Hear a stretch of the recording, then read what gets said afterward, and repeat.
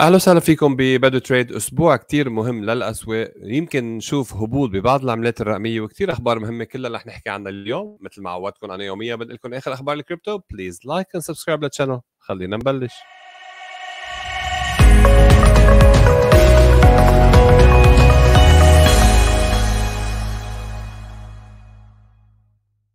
بلاك روك بيتكوين spot ETF بعده عم بيعمل إيجابية على الأسواق بعد البيتكوين فوق 30000 بحسب أحد المحللين ال on-chain آه عم بيقولوا لنا كثير من المستثمرين عم يشتروا بكميات بيتكوين على شكل دائم. هيك عم تفرجينا تحاليل ال on-chain آه من آه ويل كليمنتي بخلال مقابلة مع أنثوني بومبليانو هلأ من ناحية ثانية بما إنه عم نحكي عن بلاك روك عملت فيديو شورت امبارح عن بلاك روك إذا حضرتوه.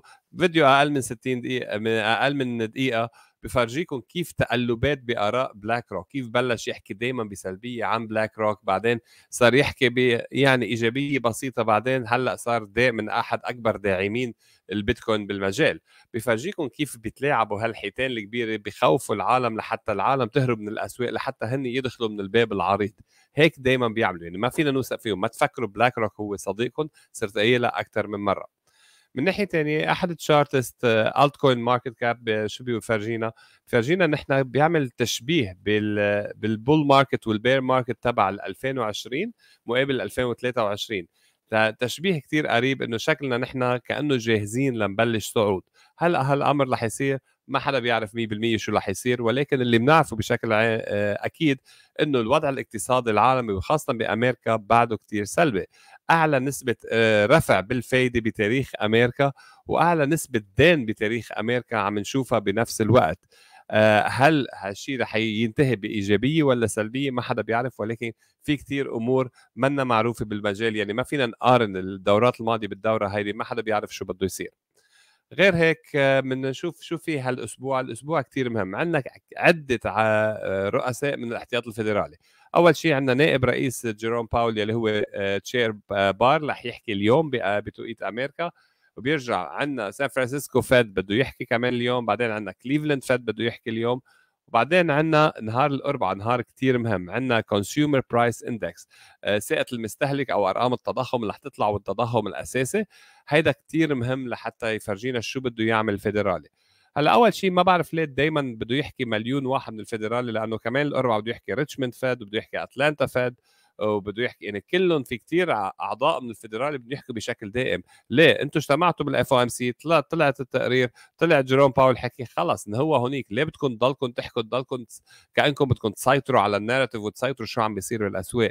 عن جد هالأمر كتير سلبي وكلنا بنعرف لهم سياستهم بدهم يحكوا بطريقة متشددة. هالأمر رح يخوف الأسواق ولكن أرقام التضخم رح تكون لها الثقل الأكبر شو بده يصير.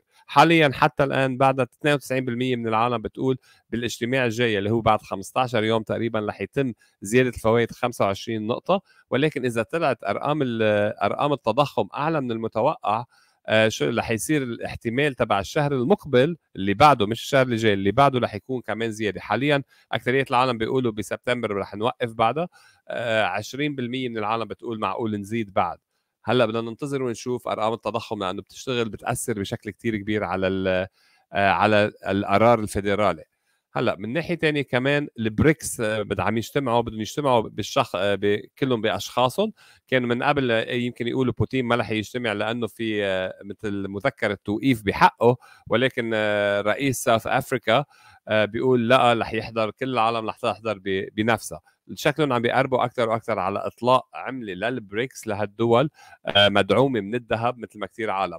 يعني يمكن يكون الفيدرالي بده يزيد الفايدة أكثر وأكثر ليقوي الدولار مقابل هيدي ال BRICS وحتى العالم تضل أكثر تعوز دولار. ما حدا بيعرف شو شو المخطط ولكن هيدي أمور معقول تصير ولازم نكون منتبهين لها.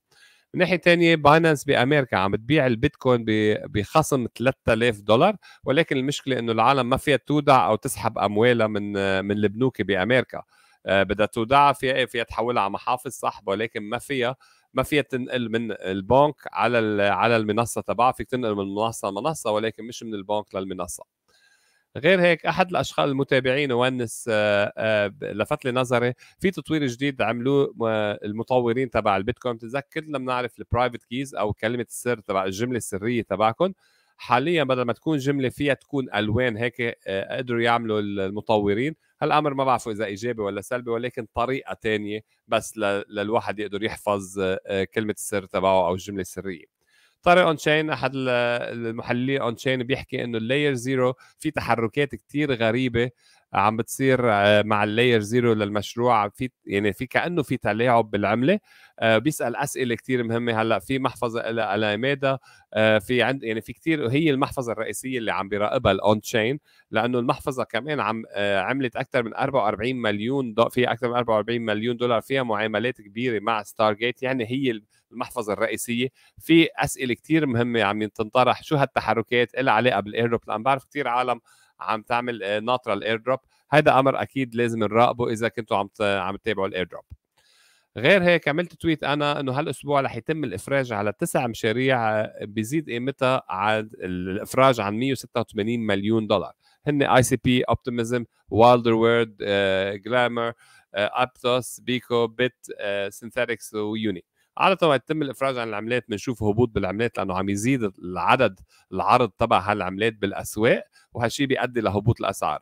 شخصيا إذا لقيت هبوط قوي للأسعار أنا بدي أعمل DCA في بعض العملات أنا عم راقبها من فترة وبدي زيد بدي زيد على مراكز اللي أنا فيها يلي هي Wilder World Synthetix و Uniswap مرة ثانية هذه ما نصيحة استثمارية؟ اعملوا دراستكم الخاصة. أنا هالعملات بس لافتين لي نظري من فترة وحابب يكون عندي position أكبر فيهم لل bull market غير هيك بدنا نحكي عن كيف كيف الدول العربية عم تشتغل عم تضلها تشتغل أكثر وأكثر South Korean blockchain leader أحد القادة ب South Korea آه، بالبلوك تشين اسمه Neoply آه، بينتقل على أبو ظبي كمركز أساسي له عم نشوف كيف الدول العربية وخاصه أبو ظبي والإمارات عم عم تجذب كثير من العالم والشركات العالمية بعالم البلوك تشين عليهم. هذا كل شيء أنا عندي لليوم إن شاء الله انبسطتوا بالفيديو. إذا انبسطتوا اعملوا like اعملوا subscribe لل channel وأنا بشوفكم قريبا فيديو جديد و market update جديد. thank you